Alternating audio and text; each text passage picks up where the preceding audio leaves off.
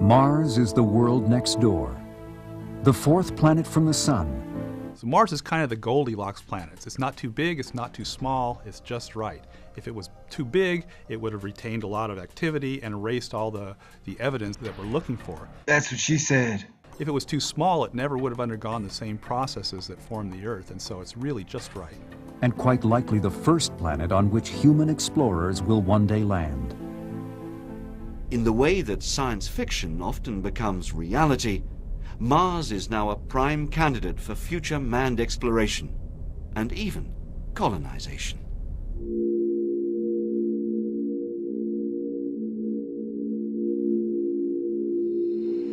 Women are from Venus and men are from Mars. I am Thor. I'm from Jupiter. If you wanted that to rhyme, you are now disappointed. Okay, great. Happy Valentine's Day, baby. I'm glad you're here still with me. Back in the 1500s, Nostradamus said, in 1999, terror will reign from the sky, and Mars will rule happily ever after. Well, people bag on Nostradamus. Science can't explain it, but that motherfucker was right. Because Mars, we've had war nonstop. It's ingrained in everybody's hearts and minds. People think war now is like oxygen and that life on planet Earth could not exist without war. Maybe that's true of the currency in its current state, but money is not life. So, and NASA has been absolutely, all encompassingly obsessed with Mars, the dead planet, bring it back to life. So here we are. Let's learn some interesting facts about planet Mars. Let's see how many of them we didn't know. You know, because they talk about Mars all the time, so I'm looking for new new information. February 13, 2015, Elizabeth Howell. She was on Gilligan's Island.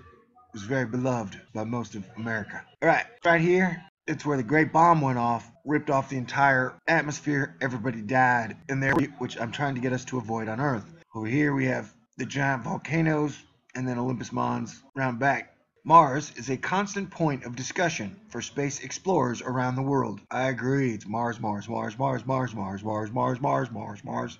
We've sent dozens of spacecraft there to study it and plan to send dozens more. It's almost like Mars is the only planet in the solar system. And we never talk about Venus. Compare and contrast Venus and Mars. For whatever reason, we're just not that interested in Venus. Women.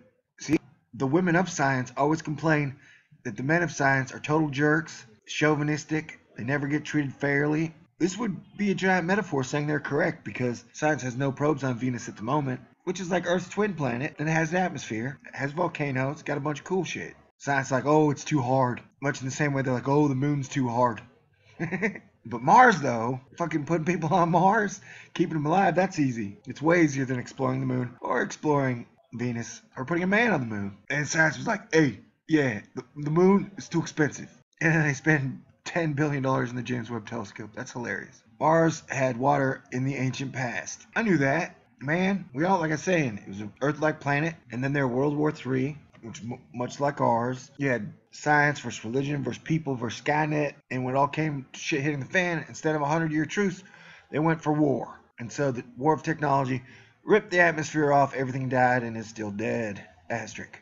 We might have recovered a biochip back in the day from Mars that was technically alive, but a computer at the same time, which is why the monolith has taken over science. And why we've been so Mars fascinated. So, interesting fact number one Mars had ancient water in the past. We knew that. Interesting fact number two Mars has frozen water today. We also knew that as well, because they rarely take photographs of the water parts on Mars. Why? Same reason they do what they do. They're weird and super secretive. Like you drop the A and they're the NSA. It's for them to know and you to never find out. We're very interested in the question of water because it implies habitability. And so they don't show us a lot of water. For whatever reason, we haven't gone and scooped up the water yet, as far as I know, and tested it. I mean, I'm sure we have. I'm just saying they haven't told the public. So yeah, we knew. Although some scientists would say that's not water, that's uh, methane or f- just frost. It's pure frost. Hey, three. Mars used to have a thicker atmosphere. Duh. That's why we sent Maven, another billion-dollar satellite, over to Mars to check out its atmosphere that it has now, which is probably thicker than they tell us, and figure out why they lost their thicker atmosphere. So you're 0 for 3, ma'am. Man, you're not representing Venus very well. Mars has some extreme highs and lows in terrain. Well, if they watch Thor News' channel, I've gone into the Valles Marineris pretty in depth because it's a pretty cool thing that a planet has a giant spear mark on the side of it, you know? And got Olympus Mons, one of my favorite mountains in the entire solar system. Made famous to me through The Watchmen by Alan Moore, which was an amazing graphic, crappy movie. I mean, there were parts of the movie that were good, but they scarlet lettered, you know, the, the, ending. Mars has two moons, Terror and Fear, Phobos and Deimos. I know, because when Mars has reigned since 1999, we've been reigned by terror and fear on Earth. You ever heard those words? Terror, terrorism, terrorize? Fear, chaos. It's fear.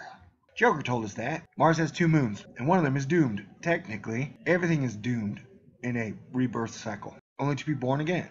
So, yeah, I knew Mars had two moons. That's not really, what is this? Second grade piece, man? No, no, no. I don't want to be misunderstood. I hope you hate us, no, most importantly.